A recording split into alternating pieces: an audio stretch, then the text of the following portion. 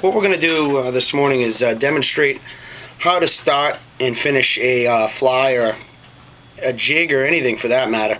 Any anything you want to tie onto a hook, hair or synthetic fibers. But what you want to do is take your thread and almost pinch the thread on the hook and begin to wrap.